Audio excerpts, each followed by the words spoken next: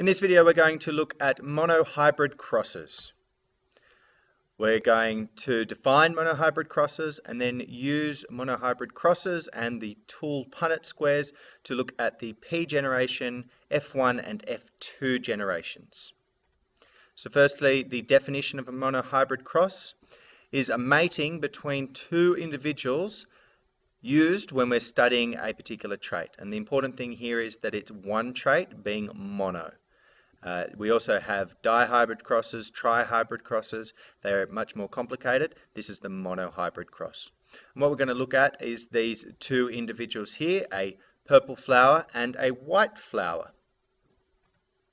Now we know that one of the things Mendel did, which made his experiment so good, is that he got true breed peas. So he bred them for two years prior to actually doing his experiments so that they were homozygous for each trait.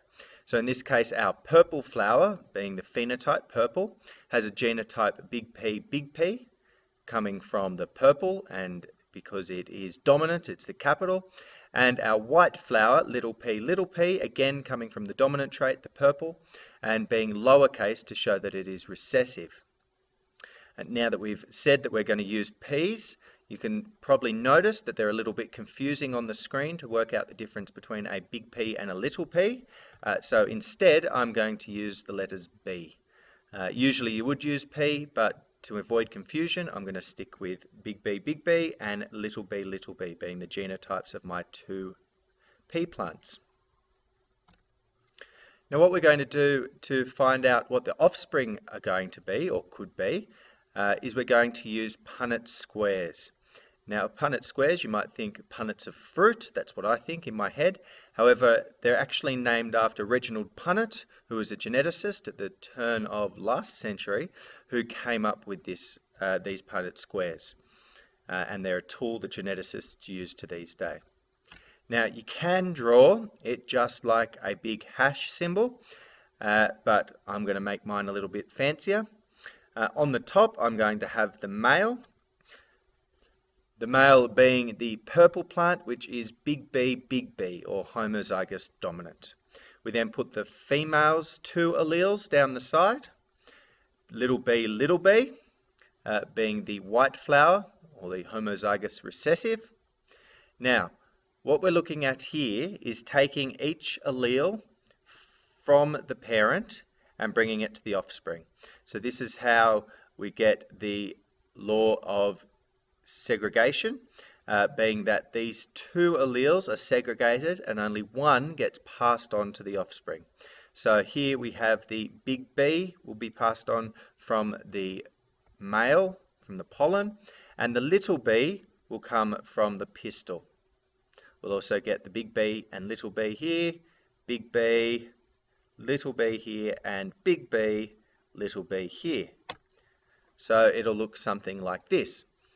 So what we have is each of those offspring, now we're talking about the F1 generation here, have the genotype big B little b, being that they are heterozygous. However, because the purple is dominant to the white, uh, they will all have the phenotype of purple flowers. So the F1 generation are heterozygous, purple, and the genotype being big B, little b. Okay, so that's the F1 generation, or the filial 1 generation, just means family, coming from the P generation. What we're going to do now is look at that F1 generation and what happens if you breed two from that generation to create the F2 generation. So again, we're going to use a Punnett square, and we remember that the F1 generation was the big B, little b, uh, so we're going to put the male at the top, big B, little b, being the heterozygous purple flower. And down the side we'll have a big B, little b female as well. Now you'll notice that we're actually going to get some different things here. So we've got the big B from the male, big B from the female, the pistil. So here we're going to have two big B's. Here we'll have the little b from the male, the big B from the female. Again, we'll have the big B from the male and the little b from the female. and here we'll get the two little b's. So this one will be little b, little b. Now you can see that we've got some different ones here. Of the four options that we get, uh, and this is probability. It's not the numbers, it's not you have four kids or four flowers and one's going to be this color, one's going to be another color. Uh, it's This is a probability thing. What this is saying is that 25% will be big B, big B, or purple homozygous.